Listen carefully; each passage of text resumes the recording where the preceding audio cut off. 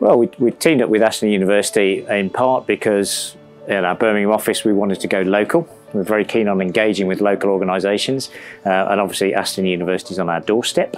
Um, also, we've teamed up with Aston because we're really excited about the work that they're doing. It, it's a real market leader in looking at biochar and looking at commercial ways in which biochar can be used.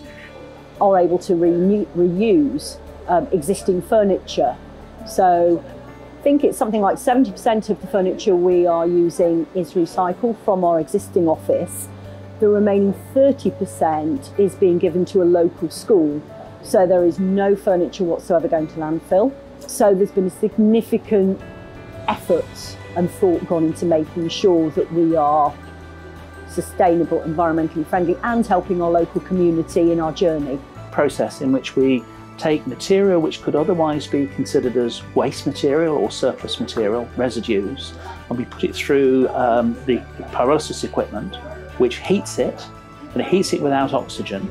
The material goes in to the, the unit, uh, and as it's heated, it's drawn through the equipment.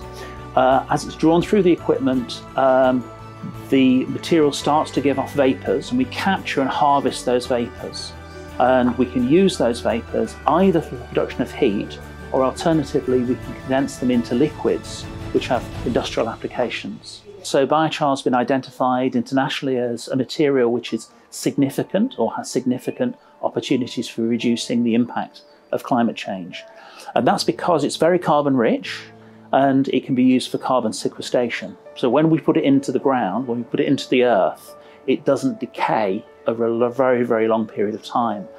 At the same time, it, it works to improve the soil, um, so you get better plant growth, and those plants themselves capture carbon dioxide. When we looked at how we were going to fit out our building and the contractors that we were going to use to do that and the materials that they were going to use, we looked in some detail about maximising the way in which we could reduce carbon emissions uh, and improving sustainability. What I've done with the pots is to uh, use a resin. So the process is to mix a mineral powder with a, a water-based acrylic uh, resin, which we produce over here and we just need to make it a fine powder and we mix it with the resin in different portions. So if we wanted something darker, we will use more biochar, but in this case it's just 25 grams per pot.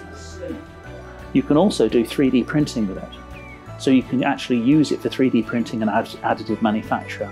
You can use it as a composite material, uh, and you can also use it for uh, a whole range of things like um, construction applications. So reducing the, the carbon impact on of cement, um, and also producing bioasphalt. That's something which we can't do our, on our own, and we need to work with companies to, to, to take forward as serious propositions for the marketplace. So we'd love to work with them to explore all of these opportunities.